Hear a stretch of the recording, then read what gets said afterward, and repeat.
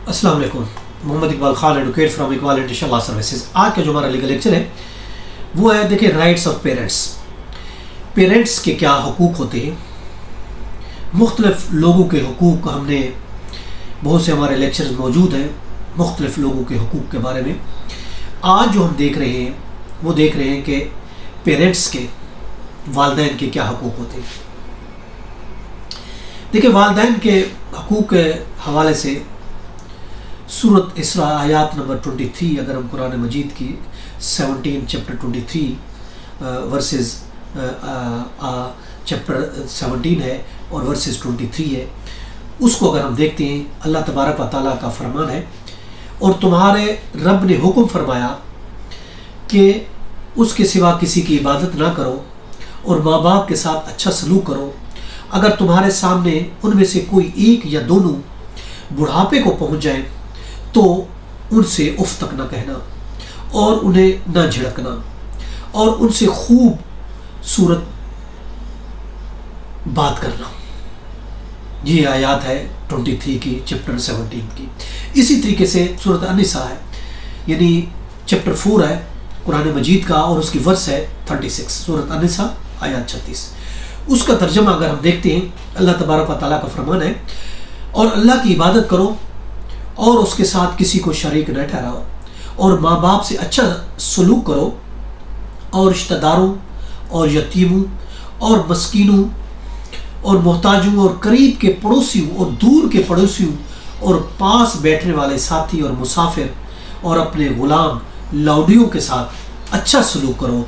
बेशक अल्लाह ऐसे शख्स को पसंद नहीं करता करता जो मुतकबर यानी फ़ख्र करने वाला हो।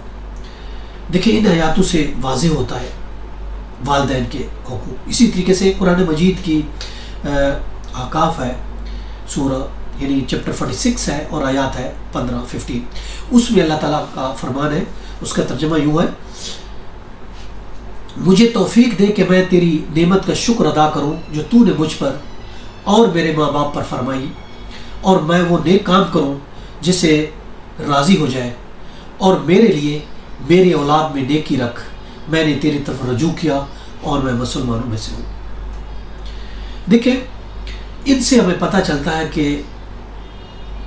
कितना एक मकाम है हमारे पेरेंट्स का, हमारे वालदेन का। कि वालदेन का ये राइट है कि टू बी लुक आफ्टर कि हम उसकी लुक आफ्टर करें, हम उनकी देखभाल करें। और इसके अलावा फ़िज़िकल और फिनंशियल उनकी हेल्प करें जब हमारे वालदेन बुढ़ापे की एज को पहुँचे। ये हम पे फ़र्ज़ है। हमारे ये लाजिम है। देखिए, जो लोग वालदेन की अहमियत को समझते हैं, वो लोग अजीम लोग होते हैं। और अगर पूरी ज़िंदगी भी गुजारते तब भी वालदेन के हकूक़ पूरे नहीं कर सकते।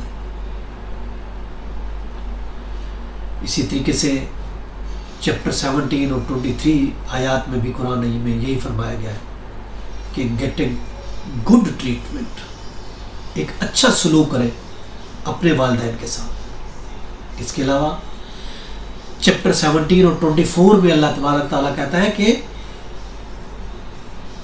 लव करें उसके बच्चे लव ऑफ़ देयर चिल्ड्रन बच्चे जो हैं, उसे मोहब्बत करें, मोहब्बत से पेश आए। जो तर्जमा है, वो इस तरीके से है।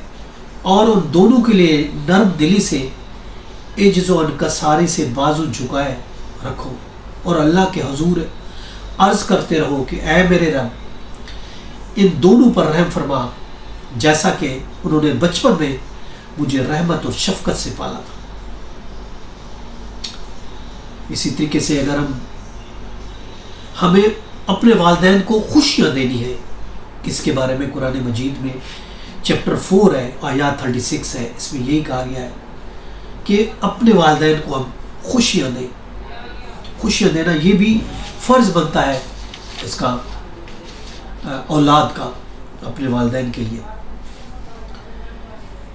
और हमें अपने वालदेन के लिए ड्यूटीफुल होना चाहिए। जैसा कि चैप्टर थर्टी वन आयात पाँच में सूरत लकमान में अल्लाह तबारक ताली फरमाना यही लोग अपने रब की तरफ़ से हिदायत पर हैं और यही लोग ही है जो फलाह पाने वाले हैं। यानी इतना इनका वो है कि यही लोग फलाह पाने वाले हैं। इसी तरीके से हमें वालदेन के घर को विज़िट करें, उसके घर जाएँ, उसके पास जाएँ। इसके लिए हमें कुरान मजीद के चैप्टर फोर, आयात वन, यानी सूरत निसा के आयत एक हमें दर्ज देती है। और इसी तरीके से सूरत अल बकरा की चैप्टर टू है, आयात 125 है। वो हमें ये कहती है कि हम अपने वालदेन पर अपना खर्चा करें, मनी खर्च करें। और इसके अलावा हम अपने वालदेन के लिए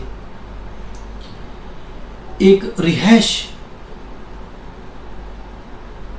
का इंतज़ाम करें। ये भी हम पे फ़र्ज़ बनता है। जैसा कि फरमाने, आपसे पूछते हैं कि अल्लाह के राह में क्या खर्च करें? फरमा दे, जिस कदर भी माल खर्च करो, दुरुस्त है, मगर उसके हकदार तुम्हारे माँ बाप है। और करीबी रिश्तेदार हैं और यतीम है और मोहताज है और मुसाफिर है जो नेकी भी तुम करते हो, बेशक अल्लाह उसे खूब जानने वाला है। इसी तरीके से चैप्टर 66 है, आयात 6 है सूरत तहरीम की। उसमें भी अल्लाह तबारक वाली फरमाता है try to remind parents of the worship to Allah इरशाद कुरान पे इरशाद है आए ईमान वालों, अपनी जानू और अपने घर वालों को उस आग से बचाओ जिसका ईंधन आदमी और पत्थर है और इस पर सख्ती करने वाले ताकतवर फरिश्ते मुकर हैं, जो अल्लाह के हुक्म की नाफरमानी नहीं करते और वही करते हैं जो उन्हें हुक्म दिया जाता है। इसी तरीके से वालदेन के लिए ये भी ज़रूरत है कि हम उसके लिए अच्छा ट्रीट करें। जैसे चैप्टर थर्टी वन आयात फोर्टीन है, सूरत लुकमान की। अल्लाह ताला का फरमान है कि, और हमने आदमी को उसके माँ बाप के बारे में ताकीद फरमाई। उसकी माँ ने कमज़ोरी पर कमज़ोरी बर्दाश्त करते हुए उसे पेट में उठाए रखा और उसका दूध छुड़ाने की मुद्दत दो साल में है कि मेरा और अपने वालदेन का शुक्र अदा करो, मेरी तरफ़ ही लौटना है।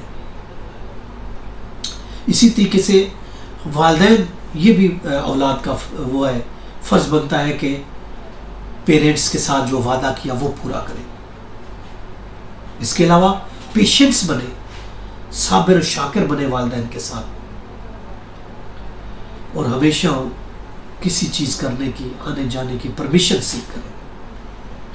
उसका हुक्म माने, जैसा कि चैप्टर थर्टी सेवन है कुरान मजीद का आयात है एक सौ दो जिसमें अल्लाह तबारक ताली का फरमान है, वालदेन के हुक्म और आनर को जिहा से अफजल करार दिया गया है। वालदेन की हुक्म अदुली गुनाह अजीम है। ये फरमाया गया है कि फिर जब वो उसके साथ कोशिश करने के काबिल उम्र को पहुँच गया तो इब्राहिम इस्लाम के सहारे मेरे बेटे, मैंने ख्वाब में देखा कि मैं तुझे ज़िबा कर रहा हूँ। अब तू देख तेरी क्या राय है?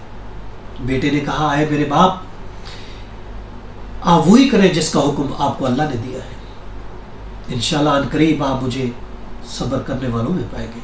ये हज़रत इब्राहिम के बेटे इससे हमें दर्श मिलता है कि वालदेन का क्या मकाम है, किस तरीके से उसके हुक्म की अदूली कर हुक्म को मानना है, ये हमारे लिए फ़र्ज़ है, लाजमी है। ये हमारे वालदेन के हकूक़ हैं। इसी तरह का सही बुखारी में भी एक आदमी जिहाद के लिए आप सल्लल्लाहु अलैहि वसल्लम के पास आता है तो आपने फरमाया कि आपके वालदेन ज़िंदा है। तो आप ऐस अपने वालदेन की खिदमत करें जो कि जिहाद से बढ़कर है। यानी वालदेन की खिदमत, वालदेन का हकूक पूरे करना जिहाद से भी बढ़कर है। इस सूरत में नाफरमानी जायज़ है। जब वो सिर्फ़ ये कहें कि आपको इबादत से रोके, अल्लाह की इबादत ना करने दें उस वक्त आप वालदेन की हुक्म अदूली कर सकते हैं। इसके अलावा और कोई भी को कोई गुंजाइश नहीं है कि अपने वाल आप अपने वालदेन की हुक्म अदूली फरमाएँ। चैप्टर थर्टी वन आयात फिफ्टीन में है। और जब वालदेन फोत हो जाए, उस वक्त हमारा क्या उसके राइट्स बनते हैं वालदेन के? तो औलाद का ये फ़र्ज़ है कि शरिया के मुताबिक कफन, दफन और जनाजा पढ़ें अपने वालदेन का। और अल्लाह से अपने वालदेन की मगफरत के लिए दुआ करें। और अगर वो कर्जा छोड़ के जाते हैं तो उनका कर्जा अदा करें। अगर माँ अगर माँ ने हज की कोई मन्नत मानी है या बाप ने मानी है तो वह वो मन्नत पूरी करे, हज अदा करे। सही मुस्लिम में है। नेकी का अमल बेहतरीन जो नेकी का अमल है, वो ये है कि आदमी माँ बाप से अच्छा सलूक करे। सुनन इब्न नसाई में है कि आप वसल्लम के दौर में एक शख्स फौजी मुहिम में जाने की इजाज़त मांगी। आपने फरमाया, आपकी कोई माँ है जिस पर उसने जवाब दिया हाँ। तो आप वसल्लम ने फरमाया उसके साथ रहो, क्योंकि जन्नत उसके कदमों में है। सही बुखारी और मुस्लिम में है कि एक शख्स नबी करीम सल्लल्लाहु अलैहि वसल्लम के पास आया और अर्ज़ की, मेरी सोहबत का हकदार कौन है? आपने फरमाया, आपकी माँ। तीन दफ़ा पूछा तो तीन दफ़ा कहा, आपकी माँ। चौथी दफ़ा जवाब दिया, आपके फादर। आपके बाप। यानी तीन दफ़ा माँ और चौथे दफ़ा बाप का नाम आया तो इतना एक मकाम है और इतनी राइट्स हैं पेरेंट्स के, जो मैं हर औलाद को पूरे करने मैंडेटरी है, जो कि अल्लाह का फरमान है। इससे हट के कानून क्या कहता है? कानून भी यही कहता है, जो अल्लाह फरमाता है कि अपने वालदेन के साथ किस किस्म के सलूक करें और क्या क्या राइट्स हमारे बनते हैं, क्या वो फुल करें। ये था हमारा आज का लीगल लेक्चर कि राइट्स ऑफ़ द पेरेंट्स इसके साथ इजाज़त कर फिर मिलेंगे। हैव अ नाइस डे अल्लाह हाफिज़।